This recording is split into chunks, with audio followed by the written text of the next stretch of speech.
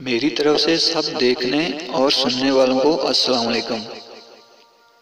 آج کی اس ویڈیو میں ہم دنیا کے سب سے چھوٹے ملک ویٹیکن کی سیر کریں گے اور جانیں گے ویٹیکن کے بارے دلچسپ حقائق اور اس کی تاریخ کے بارے میں۔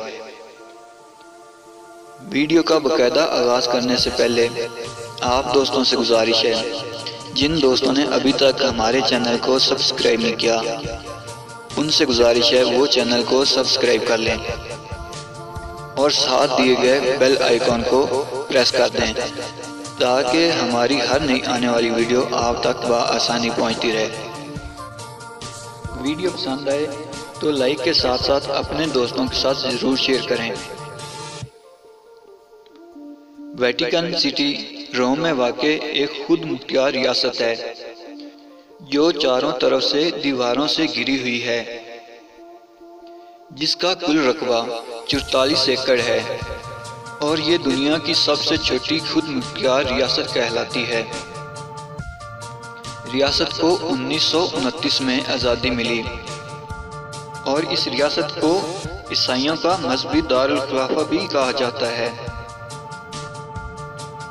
روم کی بنیاد سولہویں صدی میں رکھی گئی۔ جس کے ابتدائی مقاصد مذہبی اور سماجی تھے۔ انیسویں صدی میں اطالوی حکومت کے پھیلاؤ سے اس کے اختیارات کم ہونے لگے۔ رقبے کے لحاظ سے دنیا کا سب سے چھوٹا سٹی کہا جائے تو یہ غلط نہ ہوگا۔ ویٹیکن کو ایک بے حد پر اسرار نگری سمجھا جاتا ہے۔ کہا جاتا ہے کہ اس کے بہت سے راز ہیں۔ اور زمین دوز حصوں سے ویٹیکن سٹی کے بہت سے خواص بھی شاید وقف نہ ہوں۔ ایک یورپی ملک کہ وہ فوجی جو ویٹیکن سٹی کی حفاظت اور پہرہ پر معمور ہوتے ہیں۔ ان کو ایک حلف اٹھانا ہوتا ہے کہ وہ یہاں کا کوئی راز فاش نہیں کریں گے۔ پاکستان کے ویٹیکن سٹی کے ساتھ خاص تعلقات ہیں۔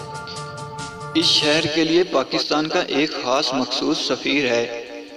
ان کے تبادلہ خیال میں عموماً سب سے اہم موضوع پاکستان میں موجود عیسائیوں کے بارے میں ہوتا ہے۔ اگر کہا جائے کہ ویٹیکن سٹی دنیا کے ان پرانے اور تاریخی شہروں میں سے ہے جس کی تاریخ اپنے اندر بہت سے راز رکھتی ہے، تو بالکل صحیح ہے۔ اس سٹی میں کافی مقامات ایسے ہیں، یہاں سیاحوں کے لیے یادگار مقامات ہیں۔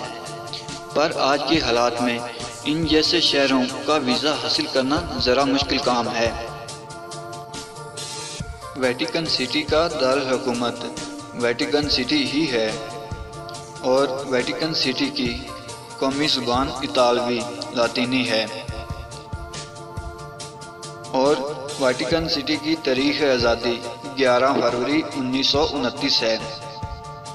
آج کی ویڈیو میں اتنا ہی۔ اگلی ویڈیو تک مجھے دیں اجازت، تب تک کے لیے اللہ نگہبان۔ کے بعد